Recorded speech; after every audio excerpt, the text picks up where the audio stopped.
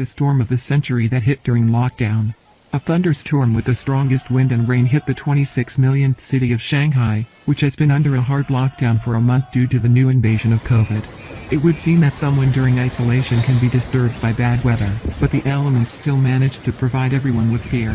And how can it be otherwise, when a storm, more powerful than which has not been since 1961, attacks the metropolis?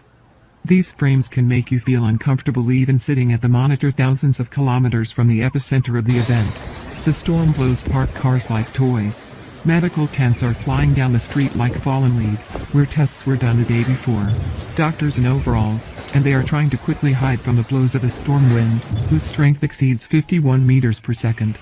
The Chinese authorities have declared a red alert level as the confluence of so many adverse circumstances is too much.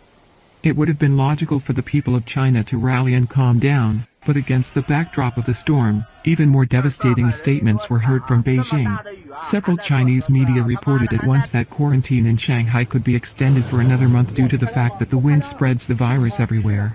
It is not surprising that the supporters of conspiracy theories immediately started talking about the fact that the impact of the elements could be caused by a person and we are talking about almost a climate weapon with which the authorities can easily change the weather at their discretion.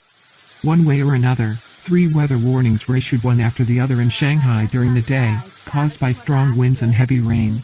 Bad weather befell not only directly Shanghai, the difficult situation in the provinces of Hubei and Henan, one day precipitation there has already exceeded all normal values for this period of the year, becoming extreme. According to preliminary forecasts of weather forecasters and meteorologists, the intensity of showers in southern China will gradually begin to gradually decrease in the near future. But the rains may not stop completely for about a month in certain provinces, which in turn can lead to floods, landslides and the withdrawal of the local population from their usual lives. The authorities are trying to keep it under control and, if the situation worsens, they are ready to resort to evacuation and immediate elimination of the consequences of a natural disaster.